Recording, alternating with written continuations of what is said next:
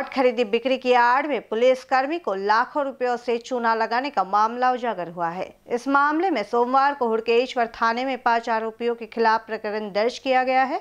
इसमें से एक आरोपी का देहांत हो चुका है। बाकी आरोपियों को गिरफ़्तार होना बाकी है। पुलिस कर्मी का नाम संदीप सहदेव राव मनस्कर, उम्र बयालीस साल है, जबकि आरोपियों के नाम प्रशांत मनोहर चौहान, बेसा, आदित्य धर्मदास जाम्बुलकर उम्र सैतीस साल विश्राम नगर अमोल मधुकर राव शासन कर उम्र उनचालीस साल, न्यू सुबेदार लेआउट, प्रशांत केशवराव उर्कुड़े, उम्र चालीस साल, मेहर बाबा नगर और देवेंद्र केशव ताइवाड़े उम्र पैतीस साल, नालंदा नगर निवासी है। नवंबर 2020 से फरवरी 2021 के बीच में संदीप ने ग्राम पंचायत बेसा अंतर्गत प्लॉट नंबर आर एक की खरीदी की। जिसका क्षेत्रफल 1440 वर्ग फीट तथा पहन अड़तीस है। किस्तों में आरोपियों को 20 लाख छियालीस हज़ार एक सौ तिरासी रूपए दिए गए हैं, लेकिन आरोपियों ने प्लॉट की रजिस्ट्री लगाकर नहीं दी। रकम वापस मांगने पर सभी आरोपी एक दूसरे की तरफ़ उंगली दिखाते रहे। इसी बीच एक आरोपी प्रशांत चौहान का देहांत हो गया। घटित प्रकरण से मामले की शिकायत की गई। जाँच पड़ताल के दौरान धोखाधड़ी होने की पुष्टि हो गई है।